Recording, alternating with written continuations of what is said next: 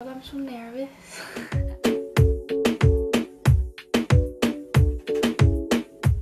Hi everyone, so my name is Beth and I am filming my first ever YouTube video. It is very scary but I thought I would just give a quick background to who I am and why I'm doing this. So basically I got diagnosed with lymphoma back in March. That's a type of blood cancer and I've been undergoing treatment for almost six months now. Yeah, it's been a really long slog considering for four months of it I couldn't see anybody. Um, I was basically housebound and shielding because of COVID. So from that I decided to start an Insta blog just for my friends and family for them to actually know what was happening in my life without me actually having to go tell them. I could just put a post on this blog and everyone would know that I'm alright, what was happening with me etc. I started my Insta blog and through that I actually connected with quite a few people around the UK and that actually gave me quite a good insight because it was so nice to know that I wasn't the only person going through this. Like have a little like kind of united team. So from that I just kind of decided that I wanted to like start a YouTube. I wanted to be there for people who are kind of going through the same process as me and I feel like this is a good way to reach out to people who are in my position. Yeah, I just want to be there for people like myself who at the start didn't have an absolute clue what was going to happen to me. I just want to be there, tell them what's exactly going to happen, what's going to hurt and what's not going to hurt and just be honest about the full process.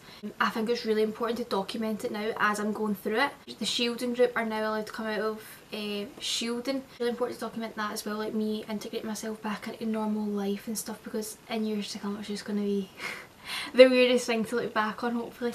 But uh, yeah, let's get on with the video. I'm going to do a wee get ready with me chatty. I'm not going to make it too doom and gloom, don't worry guys. Like I mean, I want to help people but I also don't want to put people into depression. I'm quite a positive person. I, I like to look on the brighter side of things. I just want to like inject a bit of happiness into somebody's life and just be somebody that somebody else like myself could relate to. So yeah, I think today I'm gonna maybe try and go wallpaper shopping with my boyfriend. I'm thinking at the end of all this I kind of want a new room, I want a new space, I want somewhere that's fresh and nice and open and bright. Oh, oh. My room, my room the now is quite dark. I'm thinking that I want a bit of a brighter thing and I, I really need a new bed. I'm just doing my basement now guys.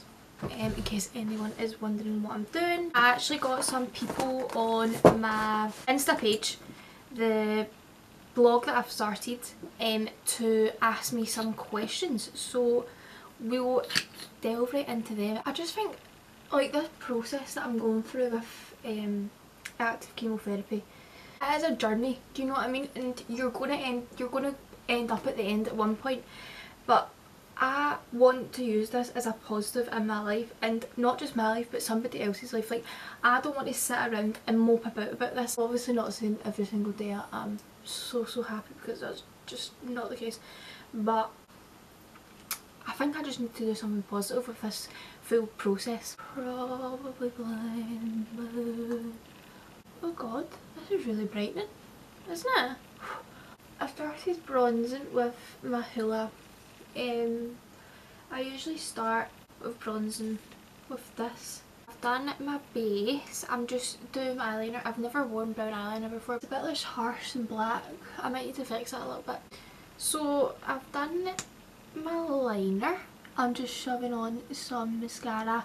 What a fucking idiot doing this. I'm going to shove lashes on because I just feel like I can't get away with just wearing mascara then now. If I'm wearing makeup that is like... Oh, oh, look at this, I'm going to zoom in.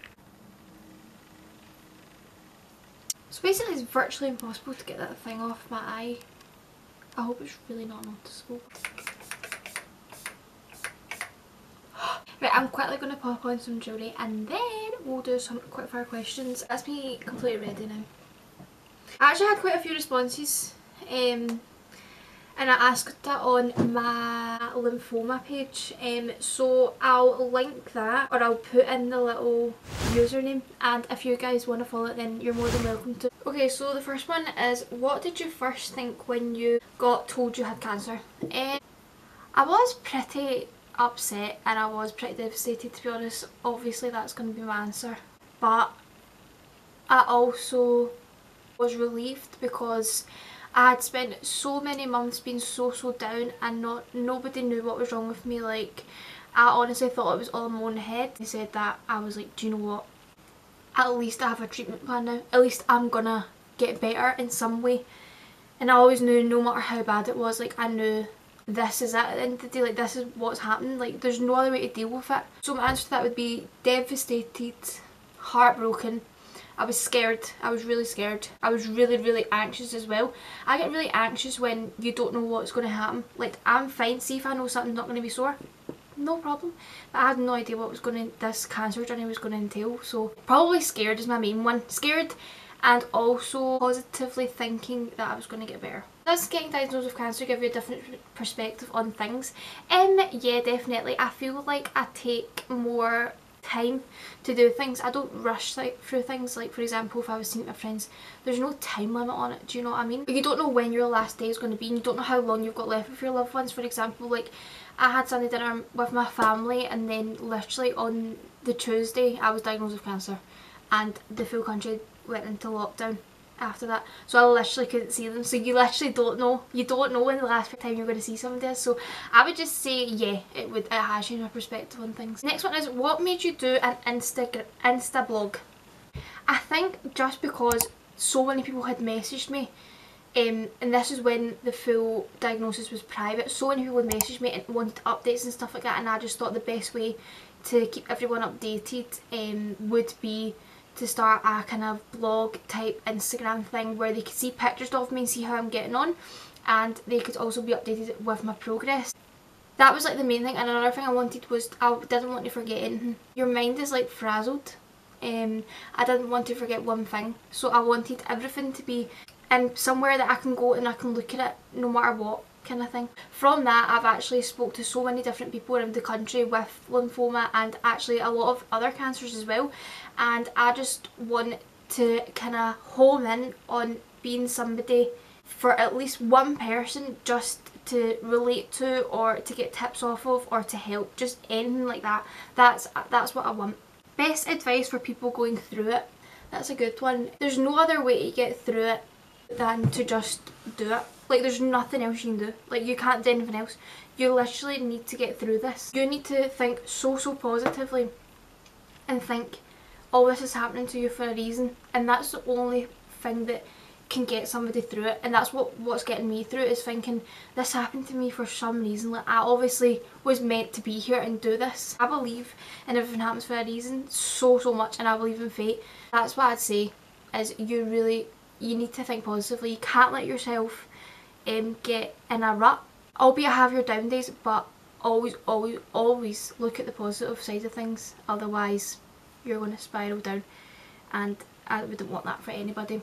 Has the COVID impact made things harder? 100%. If this all happened without COVID, life would be so much better. But um, obviously COVID is a thing. I've not hugged my family since before I went into hospital and that was on the 17th of March. So I've not hugged them in nearly six months.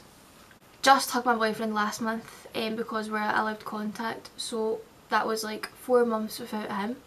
I've not hugged my friends, my best friends, I've not hugged them literally, I don't even know when. Because I hadn't been going out before my diagnosis, I was so so ill, I couldn't breathe walking up the stairs so I literally couldn't go out with them. Um, I've literally not, I've seen them obviously now because all the restrictions are lifted but I've not hugged them, I've not hugged my family. I've obviously got my mum and I've got my boyfriend who I can hug definitely made it so much harder. Although I would one thing I would say is when I first got diagnosed see if everyone was out in the hospital and allowed to hug me and stuff like that I would be so so so much more emotional. It would have been a very hard thing I think to pick myself up and get through.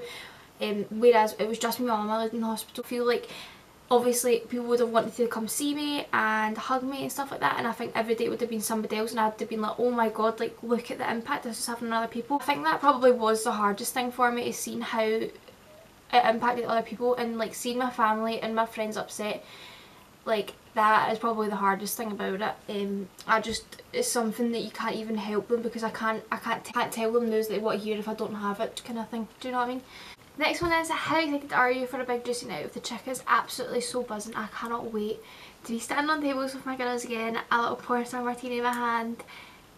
dancing away, having the time of my life. I actually cannot wait. I can't even tell you. I've missed the girls so much and I actually can't wait until we go on holiday next year. Big up Ibiza 21. It's going to be insane. Next one is, how have you stayed so positive through your treatment? You have been amazing. Thank you. Literally, just getting through every day is the main thing. Like, I wake up and I just do what I'm doing on that day. I don't think about anything else. It is so simple. I just think about what I'm doing on that day and how I'm going to get through it. I've not actually made plans for further on in the future so my main thing is how to stay positive is just focus on every day, live in the present. sounds so cliche but it's so so true, like you need to live for that day. So the next one is craziest night out story. Right, so I don't know about crazy ones, like I feel like loads of crazy things must have happened at the places I've been because who knows what's been happening but no me my friends are, just funny. Like I'd say we're just hilarious. One of my friends was sick in my hands once in a taxi. Nice. Santi was also crazy with the girls. Our first girls holiday was mad like mad. If I could go and redo anything in my whole life it would 100% be Santi. I loved that holiday. It was actually the best thing ever like oh I love Santi so much Santi was amazing what are my favourite memories literally anything that I'm laughing in. Like any time that I've been actually peeing myself laughing, I remember that for quite a while. I love just laughing and I feel like if you can make me laugh, I'm always going to remember you. Like always. So I would just say anything that where I'm laughing. And that's a hard one. There's there's so many things that I remember. I don't know. That's a hard one. Would you rather only eat garlic bread for the rest of your life or never eat garlic bread again? Never eat garlic bread again. I mean, I like it, but I would never want to eat it every single day. I feel like it gives you bad, like, taste in your mouth and, like, stuff. I feel like it's really hard to brush taste away sometimes, so, yeah. Oh my god, this is such a good. Like, favourite breakfast item? This is so hard. It's either got to be bacon or hash browns. No debate. Probably, probably hash browns because for when they're not animals and I, I love animals but I really I can't give up my meat. Like I've tried so many times and I just physically don't think I can do it but I feel like hash browns are like more environmentally friendly. So hash browns is my answer. Would you rather a sausage roll which is all sausage or all roll? Is this even a question? All sausage obviously. I love a good sausage. Like who doesn't love love a good banger? Okay next one steak bake or sausage roll. Oh my god. I love steak bakes and sausage rolls but it's got to be the classic sausage roll doesn't it? Like I love a wee sausage roll. God I've not had one in so so long. That's what I'm going to get when I'm finished my treatment. Has lymphoma changed the way you eat? Guys honestly I can't even tell you how much it's changed the way I eat. Like firstly I'm not allowed like dodgy takeaways and stuff like that because obviously your chance of sickness is increased and like really sensitive to bacteria so like you can't have certain foods like runny eggs, raw steak. The diet is really specific for people who are undergoing treatment. It's just because your immune system's so suppressed like it can't fight off bacteria and stuff like it normally would. Um, so like it has definitely been changing that way. For example, I've not had a McDonald's literally in six months now. Six months since I had a McDonald's. I'm not joking. I cannot wait to get a plain double cheeseburger. In terms of like just undergoing chemo, and what it does to your like I can't I can't. Certain tastes and textures of food are just so disgusting now like it makes me want to vomit thinking about packed lunch foods. Like I cannot tell you I cannot fathom putting a sandwich in my mouth and how I actually used to eat that and enjoy it. How mad is that? Like your textures and the taste certainly certainly change and you crave like crazy foods like weird foods like a pot noodle like no nutritional value whatsoever but that's what I mean. So I've actually put on I've actually put on weight. So before I was diagnosed I was 8 stone 6 so I was I was still a healthy weight but I was I was very very small. I'm now 9 stone 3 so that's good. When I was going to the gym and stuff I was actually between 9 stone 6 and 9 stone 11 so that was like my healthy weight but obviously quite a lot of that would have been muscle. What are you most looking forward to about the next year? 1 million percent a fresh start. I know that's so cliche, everyone wants a fresh start in the new year, but it genuinely will be a fresh start. A lot of what's happened this year has actually built me into the person that I am. Um, I feel like I'm a lot, a lot stronger, a lot more resilient. I feel like I was quite an emotional person and I feel like now I've got quite a hard face. What I'm looking forward to the next year?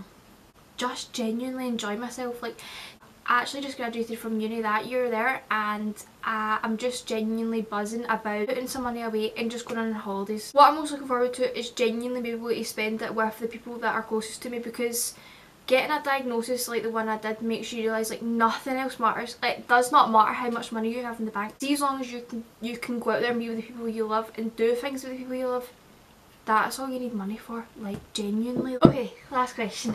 Um, what is the follow-up process after treatment? That's a good one. A lot of people are wondering this. So basically, I've done already 10 rounds of chemo. I've done 5 cycles and I've still got a full cycle left. I've got 2 rounds of chemo left. So after that, I've got a 4 to 6 week waiting period and then I need to get my end of treatment scan.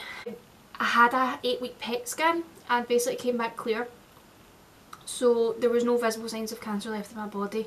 Because that's clear they do a CT scan to make sure that there's nothing else after the chemo has stopped. I will have a meeting with my consultant and my specialist nurse every three months. So we'll be part of Teenage Cancer Trust until I'm 25 and I will have a specialist nurse until my 26th birthday. It is a part of your life for a very long time and that's probably the hardest thing to come to terms with that this is your life for quite a while. So guys thank you so much for watching if you've made it to the end of the video. I would really love it if you could like this video, subscribe and comment. That would mean the absolute world to me.